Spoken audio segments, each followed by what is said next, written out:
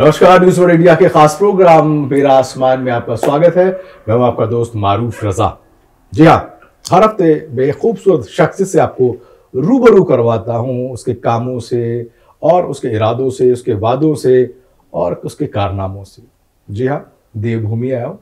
आपने साउथ के रजनीकांत का नाम सुना होगा। मेरे पास देवभूमि, उत्तराखंड के रजनीकांत। जी हाँ मैं बात कर रहा हूँ रजनीकांत सिम्बाल की। आपका स्वागत है। नमस्कार। बहुत बहुत धन्यवाद। रजनीकांत जी आप क्योंकि गंगोत्री के तीर्थ पुरोहित भी हैं। जी। और वहाँ की जो परंपरा है पूजा पद्धति है उनमें आपका पूरा परिवार संलग्न रहता है। ये गाने का चलन गाने का शौक कब से आ गया और किससे प्रेरणा आपको मिली? ये हमारा सौभाग्य है कि हमने गंगोत्री के समीप हमारा गाँव है ग्राम मुखवा। वहाँ मेरा जन्म हुआ जी। जो तीर्थ पुरोहित हैं गंगा माँ के पुजारी हैं ये मेरा सौभाग्य है। अ, लेकिन ये जो हमारे गंगोत्री के पुजारी का जो नियम है वो मेरे दादाजी और उनसे पहले की पीढ़ी फॉलो करती थी। मेरे फादर गवर्नमेंट जॉब में रहे अच्छा। सप्लाई इंस्पेक्टर तो वो उस चीज़ में नहीं आ पाए अच्छा। कि उन्होंने सरकारी सेवा में अपनी दी। और हम भी देहरादून आ गए थे पढ़ने लिखने के लिए फिर एमबीए किया। हम्म, एमबीए के बाद हाँ फिर जॉब भी की दिल्ली में। हम्म। हाँ। और फिर उसके बाद जब हमारा एक रूटीन आता है परिवार का नंबर आता है। नंबर जब आता है हाँ। तो उसके तहत मुझे गंगोत्री जाने का सौभाग्य मिला और 2013 से और 17 तक में गंगोत्री में रहा। हम्म, आ, तीन साल में गंगोत्री मंदिर समिति में ट्रेजरर रहा। अच्छा हाँ और मैं फिर पुजारी भी रहा हूँ और मैंने वो जो चार पाँच साल रहा वो आध्यात्मिक जीवन में और गंगा माँ की सेवा में मैंने लगाए हैं। तो ये शुरुआत वहाँ से हुई थी। हम्म, अच्छा। और लेकिन जो सिंगिंग का यदि आप लेंगे हम्म। तो अ, हर एक टीन एज में जब हम टेंथ क्लास में होते हैं तो किसी ना किसी से हम इन्फ्लुएंस हो जाते हैं हम भी बाथरूम सिंगर थे बहुत अच्छा गाते थे हम जी जी। तो अ, ऐसे ही टेंथ क्लास में मैंने अपाची इंडियन साहब का 93 की बात है। अच्छा अच्छा। हाँ मैंने एल्बम सुना। हाँ, वो तो बहुत पॉपुलर था बहुत पॉपुलर था बहुत पॉपुलर और जितने भी युवा थे वो बड़े क्रेज क्रेज था क्रेज था उनका। तो मैंने भी उत्तरकाशी में मेरे फ्रेंड ने ही वो मेरे को सुनाया एल्बम अच्छा। क्योंकि वहाँ पे तो पहुँच नहीं पाता था तो देहरादून या दिल्ली से कोई जाता था तो ले आता था। हम्म, तो जब मैंने वो सुना एल्बम उनका उन उनकी जो स्टाइल थी और बिल्कुल भांगड़ा मफिनों ने एक नया एक रेवोल्यूशन ले आए थे हाँ। तो मैं बहुत हैरान चकित रह गया। हम्म, तो मैंने बोला मैं भी कभी कुछ बड़ा बनूँगा तो ऐसा कुछ करूँगा। उससे पहले हमारे मेरे फादर बहुत अच्छा गाना गाते थे। अच्छा। हाँ वो सरकारी सेवा में रहते हुए भी हाँ, लोक संगीत में और लोक गीत में उनकी अच्छी पकड़ थी। क्या बात पर हाँ। लेकिन वो नहीं कर वो उनको सरकारी सेवा में जाने का मौका। तो फिर मैंने सोचा कि यदि मैं कुछ करूँगा हम्म। अपने उत्तराखंडी संगीत में तो ऐसा कुछ करूँगा हम्म। कि ताकि जैसे अपाची इंडियन साहब ने पूरे वर्ल्ड में भांगड़ा मफिन कर दिया ऐसे ही मैं अपने उत्तराखंड के तो आपने भी यहाँ पर बिल्कुल धमाल मचा दिया हाँ। कह सकते हैं कि उतना तो मुझे नहीं लगता कि कर पाया जिस जिस लेवल पे उन्होंने किया था लेकिन हाँ धीरे धीरे हम कर रहे हैं हाँ। और वो कभी ना कभी वहाँ तक पहुँचेगा मुकाम। लेकिन क्या आप फुल टाइम सिंगर हैं? इसी को आपने अपना मुस्तकबिल फ्यूचर करियर बना लिया या आपने एमबीए किया जी।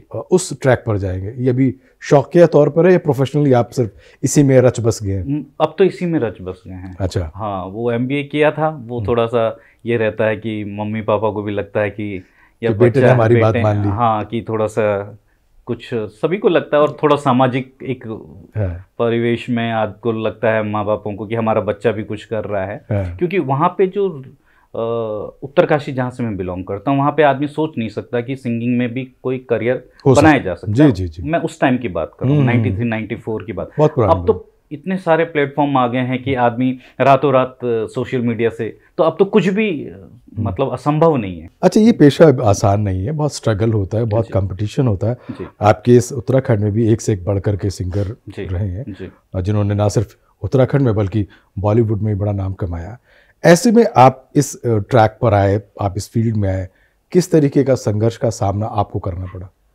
संघर्ष तो देखिए सभी जगह होता है। हम्म। और बिना संघर्ष के भी यदि सफलता मिल जाए तो फिर मज़ा भी मज़ा नहीं है। नहीं संघर्ष में ही मज़ा है यदि फाइनली देखा जाए जी जी जिद तो के आगे जीत है। हाँ जिद के आगे जीत है। तो अ, स्टार्टिंग में जब हमने एल्बम बनाना शुरू किया ऑडियो बनाया वीडियो बनाया हम्म। लेकिन उसके बाद जो हम दिल्ली में जाते थे कंपनी को देते थे तो वहाँ थोड़ा सा चैलेंज हो जाता था। हम्म। क्योंकि हम इतनी मेहनत करते हैं लेकिन वो सिर्फ़ आपको हम्म, कुछ भी नहीं की करते हैं आपको हम्म। प्रोत्साहित नहीं करते हैं।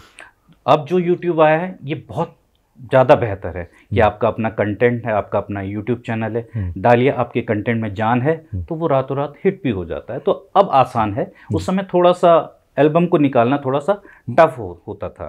अच्छा इसमें क्योंकि शौक के साथ साथ जो है पैसों की भी ज़रूरत होती है रिसोर्सेज की भी ज़रूरत होती है। तो आप तो मंदिर के पुजारी थे हालाँकि मैं नहीं कहता कि मंदिर का पुजारी गरीब होता है। जी जी। सारे दान दक्षिणा वहीं आती है। जी। लेकिन किस तरीके से इन तमाम चीज़ों के लिए रख रखाव के लिए अपने शौक को पूरा करने के लिए संसाधन कैसे जुटाया आपने?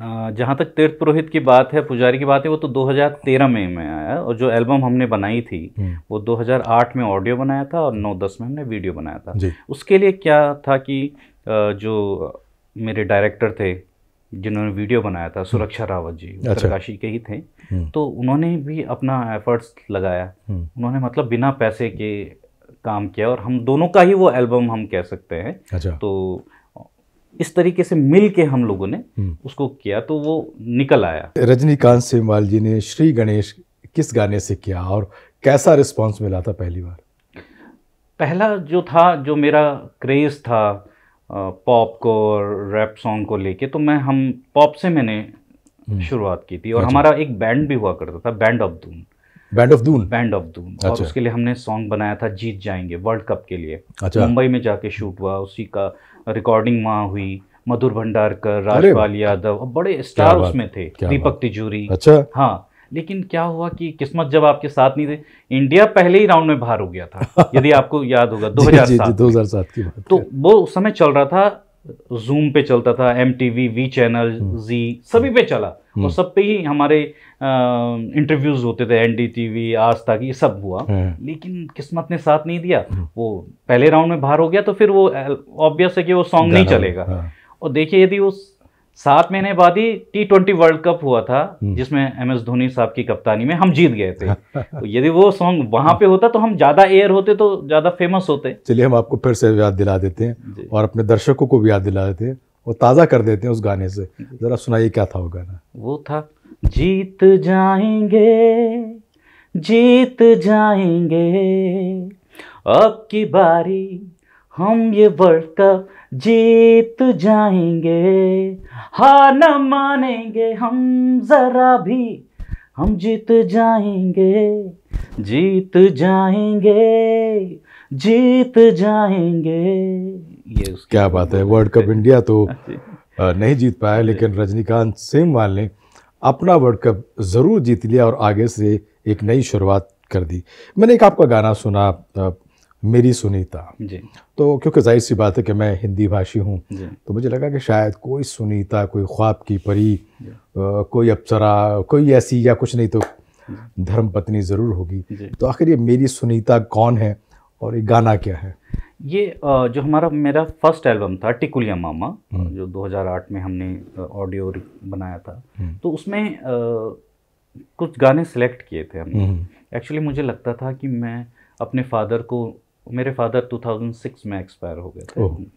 तो लेकिन मुझे ऐसा लगा कि उनके जीते जी में उनको कोई खुशी नहीं दे पाया। अच्छा। हाँ मेरा कोई ये वो अच्छा। नहीं। था कि मैंने हिंदी का ही पहले सोचा था। हाँ। लेकिन उनका लोक गीत का जैसे मैंने आपको बताया बड़ा तो मुझे उनकी डायरी मिली। अच्छा। उसमें ल- लोक गीत लिखे हुए थे वो काफ़ी सारे लिखे हुए। हम्म, तो उनमें से मैंने कुछ सेलेक्ट किए। हम्म, और उनका एल्बम टिकुलिया मामा बनाया। अच्छा। उनके लिए वो श्रद्धांजलि के तौर बात पे है, क्या समर्पित किया कि कहीं उनकी आत्मा होगी तो उनको लगेगा कि चलिए मैं जिसको पसंद चीज़ को करता था उन्होंने तो संगीत में श्रद्धांजलि अपने अपने हाँ, पिताजी को दी, दी। दी। तो उसमें ही ये मेरी सुनी मेरी हमारे यहाँ उसको शुक्र बोलते हाँ हैं। जी जी मैं समझ गया। हाँ। हर सा के पीछे एच लग जाता हाँ। है वो हाँ। ये हमारे पहाड़ के Accent होता है हाँ।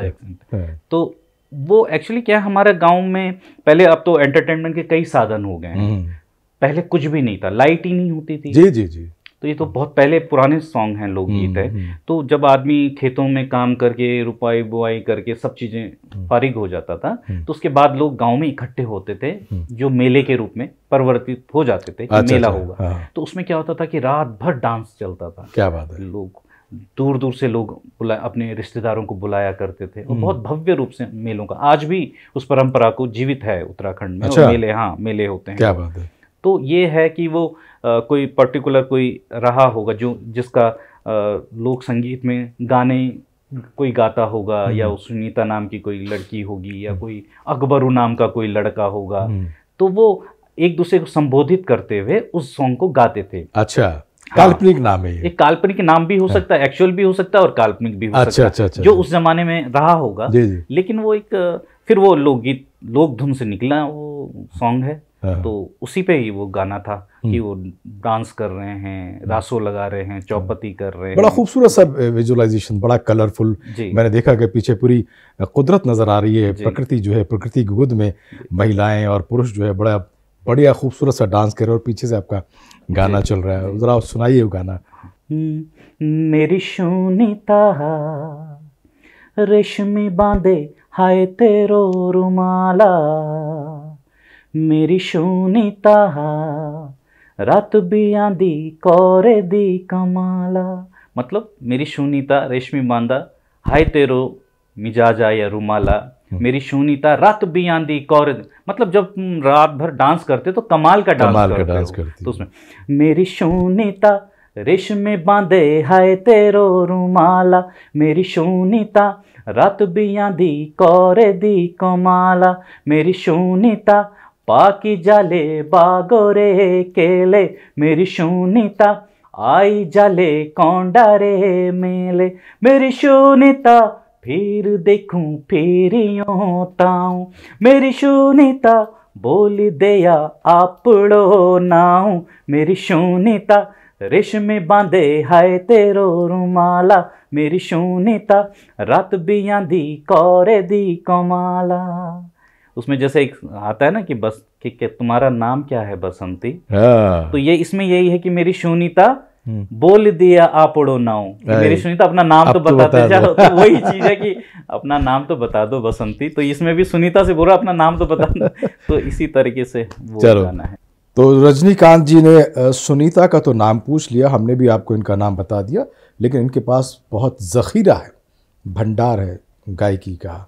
और ख़ास तौर से इनकी गायकी का एक बड़ा पहलू ये है कि वो जब भी गाते हैं उसके पीछे जो लोकेशंस होती है जो ट्रेडिशंस होती है, वो देवभूमि की झलकती है, दिखती है। तो सिर्फ़ गाना मकसद नहीं है, आवाज़ मकसद नहीं है, शोहरत मकसद नहीं है, बल्कि देवभूमि का, वो पूरा का पूरा नज़ारा आवाम तक पहुंचाना एक बड़ा मकसद है। कहीं ना जाइए, अभी सिर्फ़ ट्रेलर है पिक्चर में भी और दिखाऊँगा, लेते ब्रेक ब्रेक के बाद लौटता हूँ मेरा आसमान के साथ। गोंद स्याह, जोड़ों के दर्द का प्राकृतिक इलाज। गोंद मोरिंगा। चमकती त्वचा और सुंदर घने बालों का राज।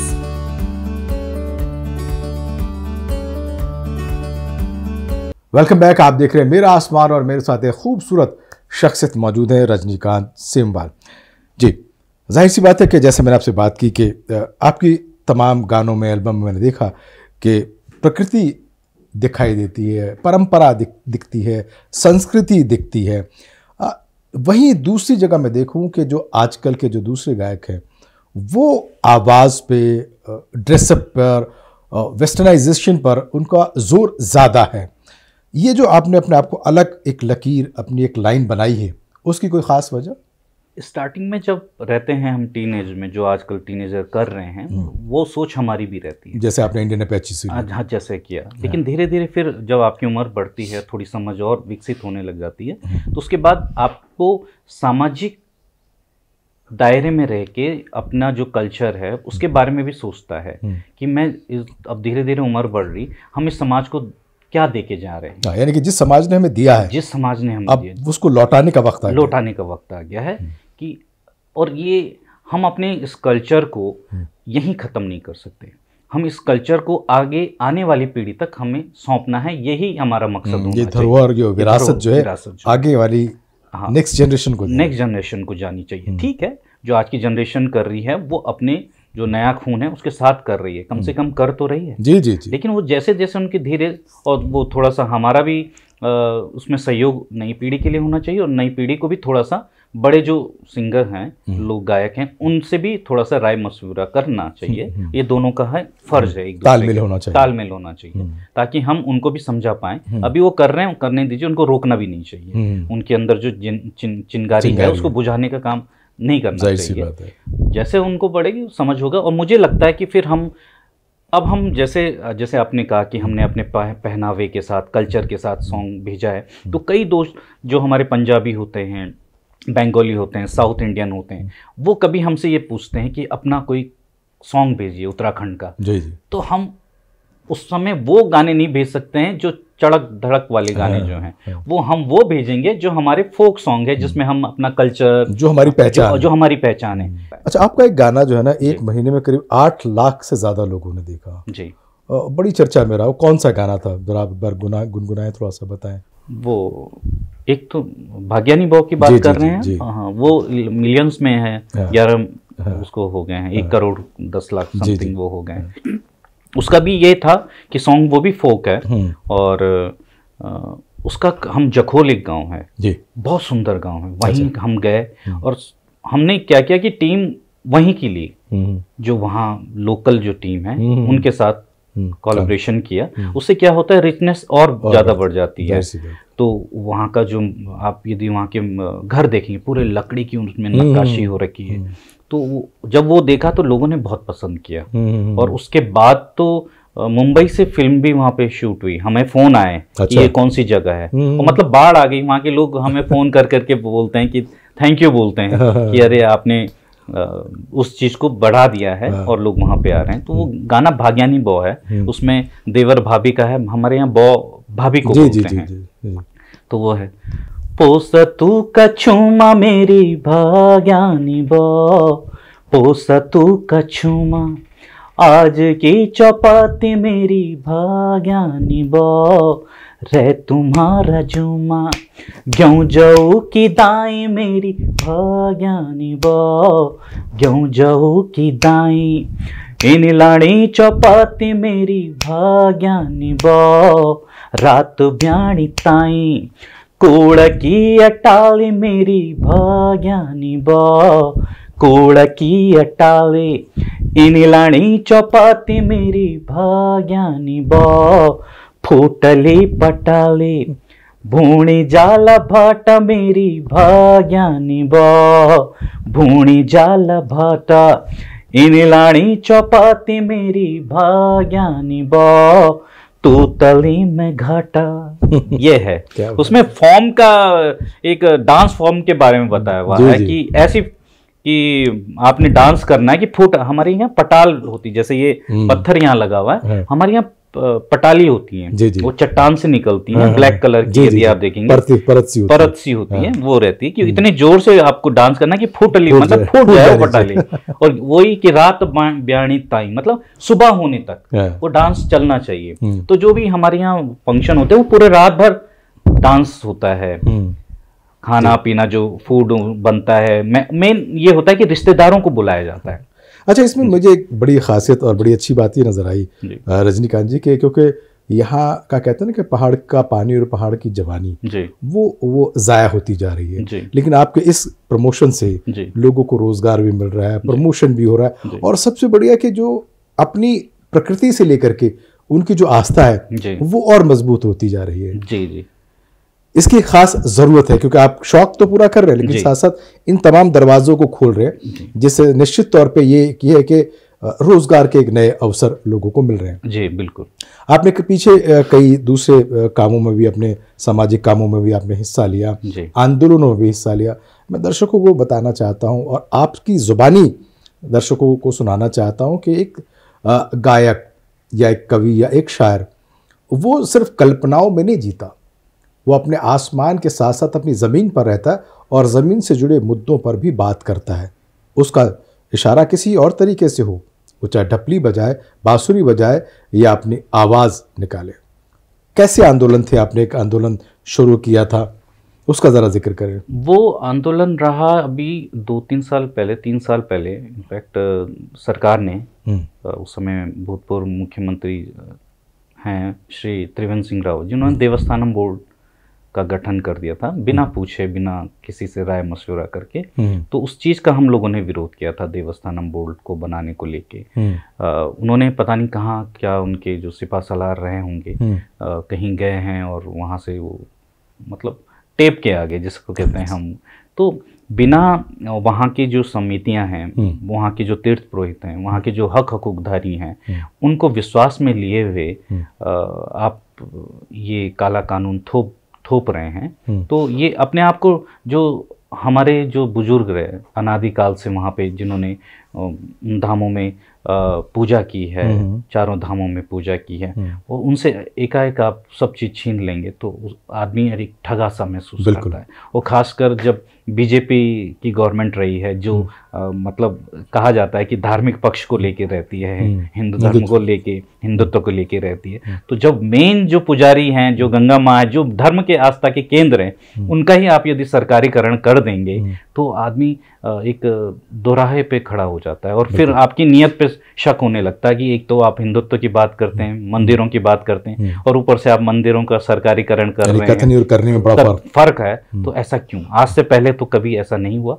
अच्छा चार धाम की यात्रा बड़ी मशहूर है यहाँ पर। उसमें भी आ, आपके परिवार का किस तरीके का सहयोग रहता है? किस तरीके की आपकी उसमें चीज़ें होती हैं काम होते हैं? चार धाम यात्रा जो हमारी है उसमें जैसे कि अब छः महीने तो जो होते हैं जो अक्षय तृतीया को गंगोत्री के का पाठ खुलते हैं या सभी की अपनी अपनी है गंगोत्री यमुनोत्री की अक्षय तृतीया को खुलते हैं केदारनाथ बद्रीनाथ के अपने हम्म, टाइम पे जो उनके निकलता है। हम्म, उसके बाद छः महीने गंगोत्री में पूजा होती है पूजा अर्चना होती है हम्म, और फिर बाकी जो छः महीने जब कपाट बंद हो जाते हैं तो जो इनके शीतकालीन प्रवास हैं अच्छा। जैसे गंगोत्री का जो है हम्म। वो मुखवा गाँव है हम्म। तो वहाँ छः महीने पूजा होती है जो कि आपका गाँव है जो हमारा गाँव है वहाँ छः महीने पुजारी रहता है अच्छा चाहे कितनी बर्फ़ पड़ जाए सात आठ फीट अच्छा। बर्फ़ पड़ जाए हाँ वो जाता है दो एक किलोमीटर दो किलोमीटर हम्म।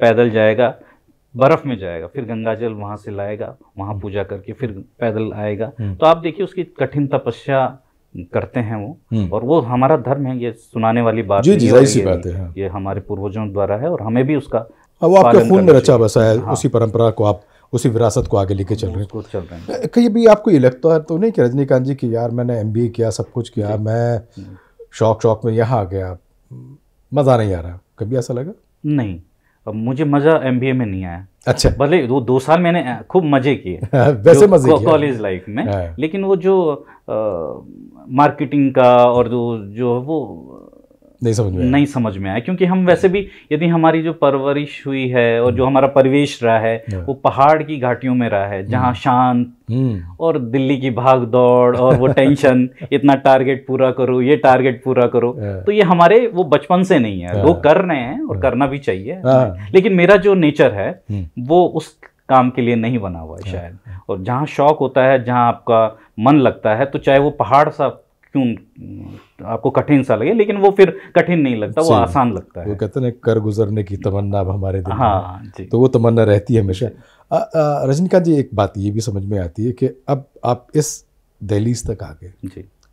आगे और कितना लंबा सफ़र तय करना है इस फ़ील्ड में?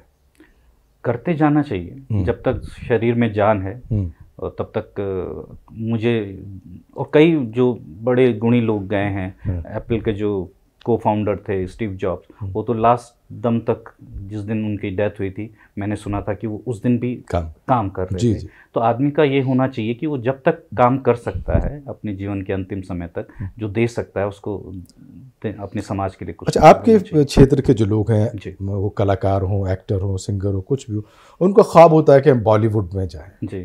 वहाँ हमारा कुछ नाम हो। जी। आपने कभी कोशिश की कभी ट्राई की? कभी आपको वहाँ से कोई कॉल आया हो या आपको ऑफ़र आया हो?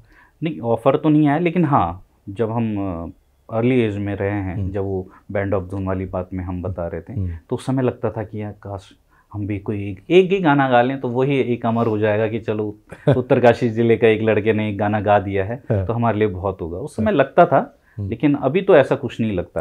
अभी तो अ, अ, अब कल ही रात को कोई बिहार में कोई लड़का दंत ब्रश करते हुए वो उसने गाना गाया वो हिट हो गया। रानू मंडल वो जी जी। स्टेशन पे रेलवे स्टेशन में बैठ गए।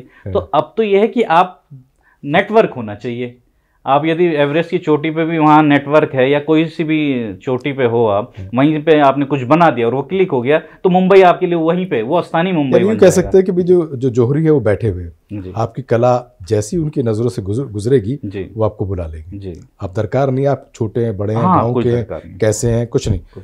टैलेंट आपके पास जी। असली और जेन्युइन होना चाहिए। हाँ। हमने उत्तराखंड के लिए उत्तराखंड के लोगों के लिए बहुत कुछ सुना और आपने बहुत कुछ सुनाया। क्या ज़ाहिर सी बात है अब हिंदुस्तान के हैं भारत के हिंदी में भी गाती हैं। आपने पहला गाना भी वो वर्ल्ड कप के लिए हिंदी में गाया।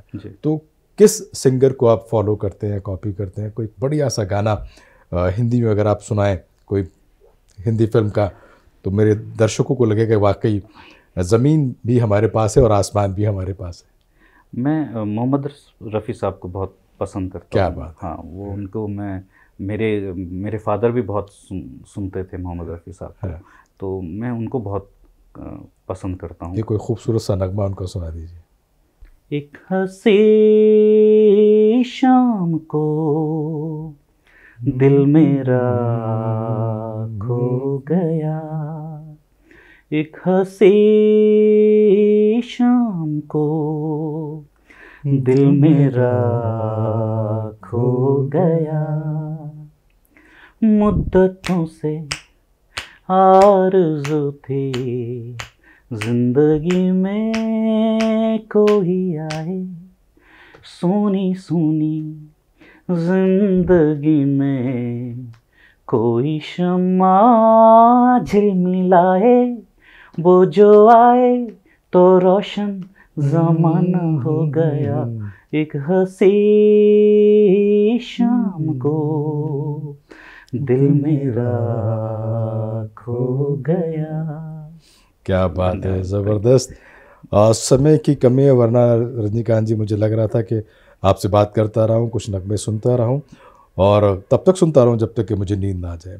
लेकिन आपने वाकई इस खूबसूरत नगमे के साथ दिल पूरा यूँ कहूँ कि बाग बाग कर दिया मेरा भी ये दर्शकों का भी और इस देवभूमि का भी। तो बहुत बहुत बहुत शुक्रिया आपका और हम चाहते हैं कि आप ऐसे ही गुनगुनाते रहें गाते रहें और संगीत में आपका यह सफ़र जो है कामयाबियों की बुलंदियों को छूता रहे। बहुत शुक्रिया आपको। बहुत बहुत धन्यवाद।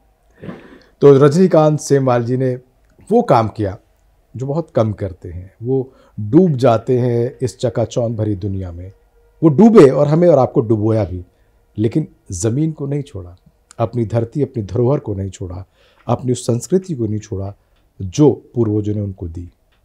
तो आप समझ लें कि हम आज के साथ अगर अपने कल को लेके चलेंगे तो हमारे पास ज़मीन भी वही रहेगी और आसमान हमारे पास उड़ने के लिए हमेशा रहेगा। तो इसी सीख के साथ मुझे और मेरी पूरी टीम को दीजिए इजाज़त।